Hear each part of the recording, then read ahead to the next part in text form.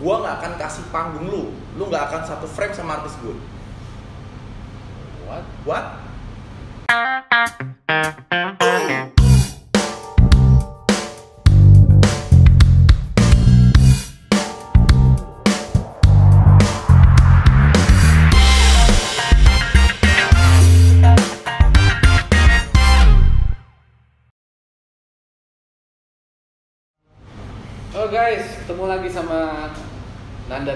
sini. Kali ini gue datangan seseorang yang em, sering membuat gaduh di sosial media. Tapi gue yakin kita pengen tahu kenapa orang ini sering bikin gaduh di sosial media yang sampai masuk ke payment sampai dikomentarin sama artis-artis lain gitu. Gitu. Langsung aja Lutfi Agizal. Halo. Thank you bro. Oh ya by the way, uh, kita pakai masker awalnya karena ada protokol kesehatan, kita udah melalui uh, protokol kesehatan yang udah terjamin, makanya pas ngobrol kita boleh buka masker. dan gua udah set swipe lo swipe sama Gua juga udah swipe. Swipe dulu sampai oh ini sampai udah terbiasa yang kanan lama-lama. uh, awalnya coba-coba lama-lama ketagihan. nah Lutfi Agizal, apa kabar bro? sehat Anda sehat Sehat. Urusan Nah, nih urusan Urusan. Banyak masalah nggak ada kerjaan banyak jawab pandemi. waduh jangan banyak masalah mas mendingan banyak dihujat netizen Oh gitu. iya karena kalau dihujat netizen belum tentu masalah Oh gitu. Iya dong. Jadi lu menikmati dihujatin sama netizen. hujat netizen tuh ada di mana sih Nah, di HP mas di HP. kita nggak pakai kita dihujat sini dari tadi nggak ada yang hujat gue Oh gitu. nggak ada Oh, iya. nah kalau masalah Ah. kalau masalah di HP dimasalahin ketemu masalah Itu masalah. Eh, itu bukan Lu jalan ke mana-mana digebukin orang. Orang nah orang- itu masalah Itu masalah. ya kan iya kan bener kan Boleh, boleh, boleh. Tuh, jadi jadi orang itu jangan banyak masalah Jadi Tapi banyak masalah. jadi orang yang banyak bikin kuota orang habis Kata orang entah dihujat atau digemari ya kan ada versi dihujat gua Nah. ada versi digemari yang itu siapa? Anaknya Isdaria ya. Oh. Kau. Kan. yang kemarin Ibunya. bukan Oh, bukan. gua naik gara-gara ada hit hit, uh, hit and run sama si Oh, itu yang yang kayak main olahraga apa itu biliar.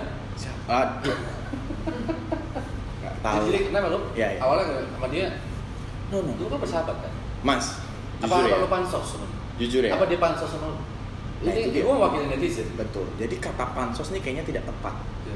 Karena muncul gua dengan YouTube perdana gua adalah konten edukasi anjay. Oke. Kenapa? Tahun 2020 ini muncul anjay viral. Viral. Gua membahas dengan cara gua.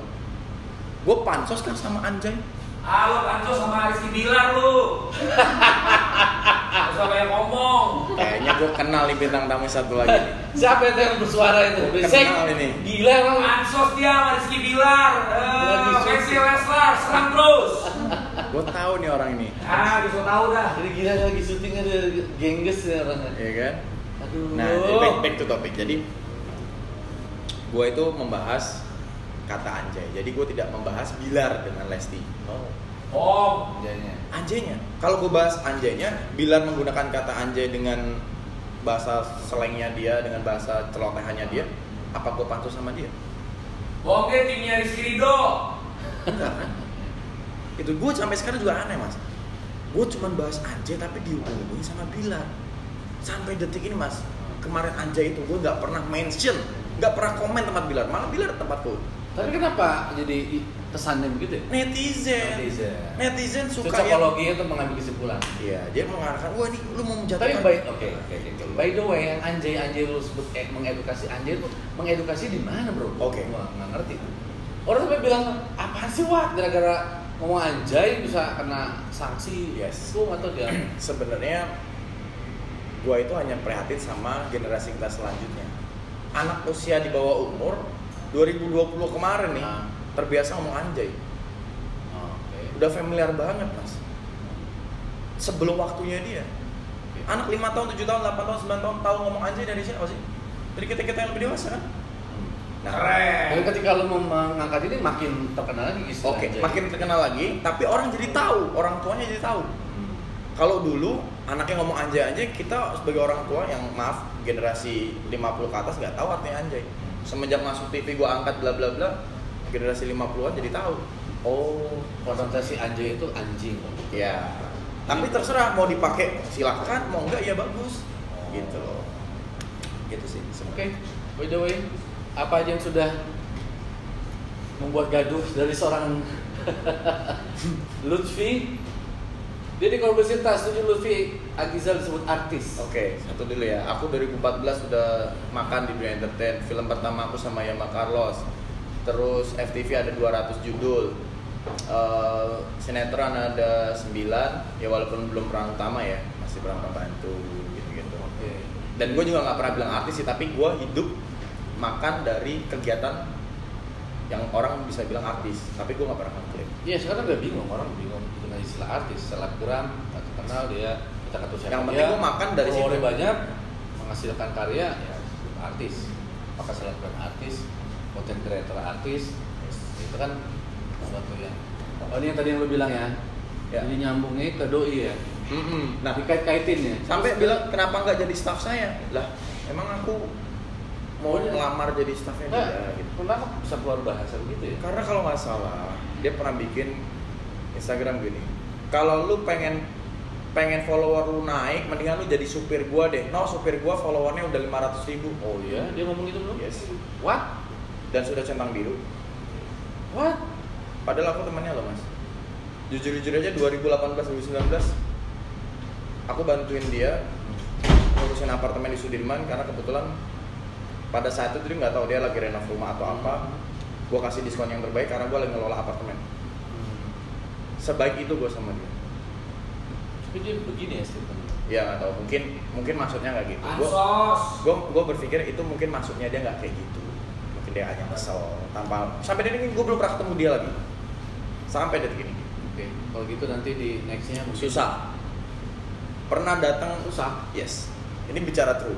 Manajer gue ada di sini. Oke, misalnya kita challenge yang bersangkutan untuk Ya. klarifikasi apakah bersedia? Kita lihat aja Ya. ya. di acara salah satu televisi swasta ada award gue udah di calling dari tanggal 16 buat acara tanggal 19 geser 20 ternyata manajer ataupun nggak tahu oknumnya mereka ngupload story bilang gua nggak akan kasih panggung lu lu nggak akan satu frame sama artis gue What? what Segitunya? ya? segitunya Oh, dia lagi jadi famous. dan gua gua gua gua ngerasa bukan dianya tapi mungkin ada orang yang melindungi dia ya I don't know ya mungkin itu sistem manajemen atau bagaimana tapi yang jelas gua dari calling calling aja dia masuk itu nggak etis dong. Yes. Nah, terus eh, kalau ditarik ke belakang Agustus 2020, gue tidak pernah menyebutkan nama dia, tapi opini publik Seolah-olah ya seolah-olah kita gue pansus ataupun ribut dengan mendompleng.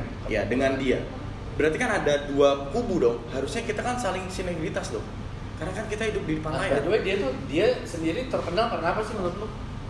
Ya dia juga seorang sinetron, pemain sinetron. Ah, ya. enggak, Gua- tiba-tiba dia tapi kan pada pada tahu mereka ketemu dengan salah satu penyanyi dangdut itu kan Nah, berarti dia juga ya I don't know gue nggak pernah mau bilang itu ya Iya kan Berarti dia terkenal sejak yes Sama ya si- walaupun sebelumnya udah terkenal sama kayak gue Iya. 2014 ada yang tahu pacarnya eh Iya. 2016 pacarnya anaknya Mama Is 2014 gue juga ada yang tahu berarti polanya sama. sama Ansos. tapi kenapa yang Yang gue. ya, tapi kenapa gue yang bener dibilang gitu kayak gitu mas gitu kenapa gue yang dibilang kayak gitu harusnya kita kita kolaborasi untuk sama-sama mengangkat nama kita masing-masing kan gitu eranya kolaborasi kan. Yes, harus kolaborasi jangan jangan jadi rusak. ya. By the way, oh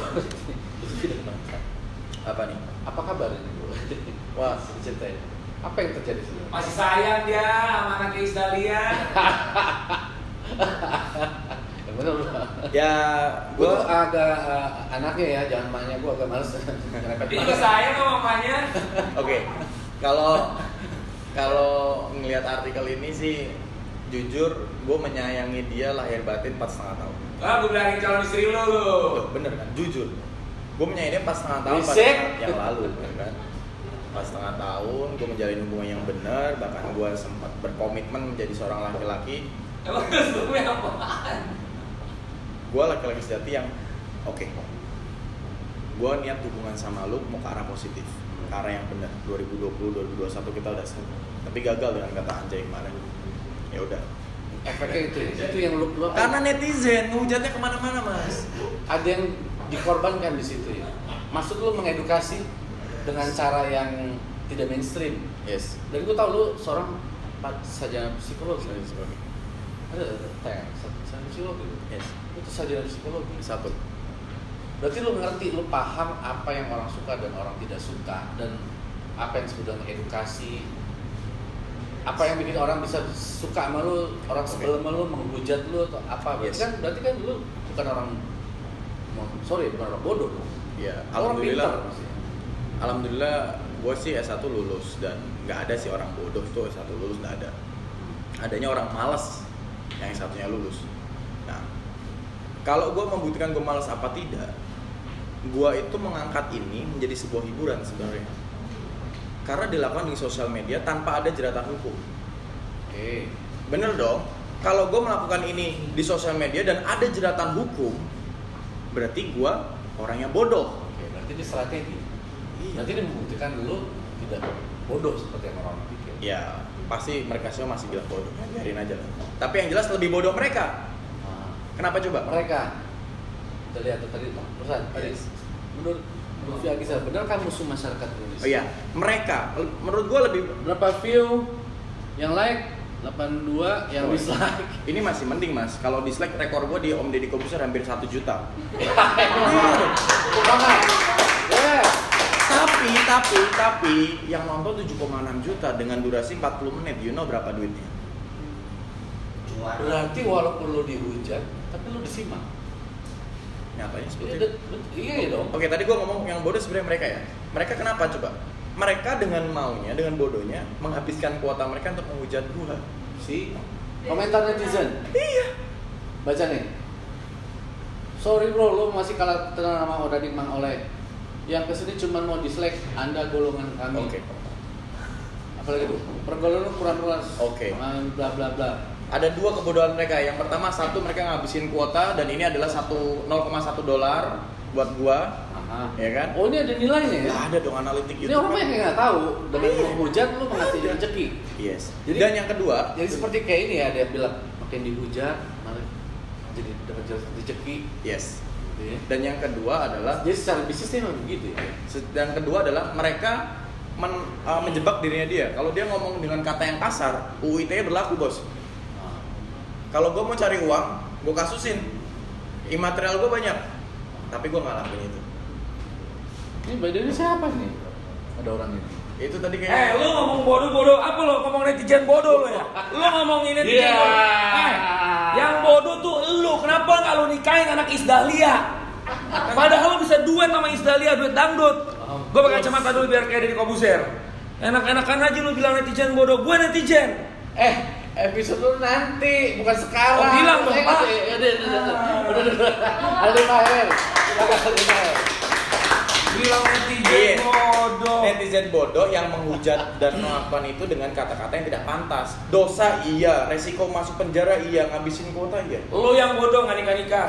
by the way guys berarti nih Ketawa nih. lengkap ya ada dua orang yang lagi tukang bikin gaduh di sosmed Dia bikin ribut nih. oh dia lu nggak Gara-gara gua masuk di podcast dia, Ah. gua makin dibully. oh lu nggak Tawa lu. lu nggak merasa bikin ribut Gua, coba kita lihat gua mau nggak bikin coba ribut, coba, Pak. coba cek cek cek rame. cek.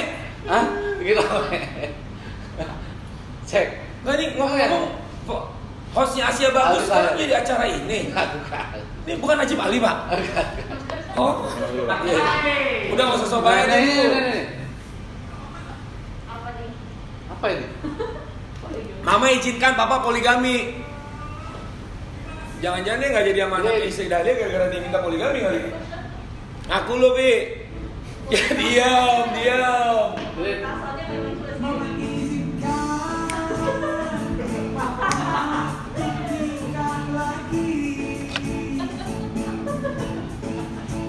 Lagu apaan sih ini? Lalu dulu bapak. Itu siapa sih? Lu suwe. Hah? Lu? Itu gua. Gua kira tadi Corbuzier itu. Stop, stop, stop, stop. Ya udah nikmatin aja dulu kali, jangan dia terus terus. Full full. Mohon maaf nih. Ah, rusuh nih orang nih. Orang lagi dengerin juga. Rusuh. Mohon maaf ya, saya langsung aus. bro, ini apa ini bro? Pak, sebelum kita ngebahas tentang ini, kau syuting yang bener dong, artnya dong. Ini ada. Jangan ya.